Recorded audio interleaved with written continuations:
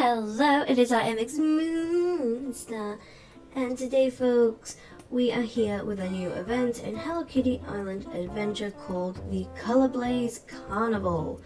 So, when you first log on, you're going to get a nice little cutscene with Pochacco, and then you are free to do as you wish.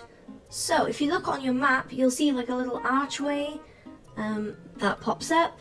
You just go up to it, you press the button. It's basically just like um, those little races that are all around the island. You go around, you collect the flowers, and then you'll get a random piece of furniture. Then you'll get a cutscene with Pochacco, and you know he's just going over everything and the, and the fact that you get prizes. And every day is a new challenge and a new prize. And then you have to look at your map to see where the actual archway is, so you can take part.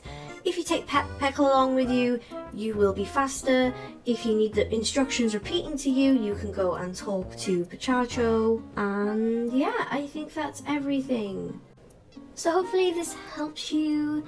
Um, let me know down in the comments below. And yeah, ta-da!